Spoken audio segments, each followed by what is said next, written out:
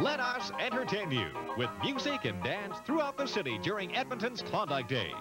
This is ITV, Channel 13, Cable 8.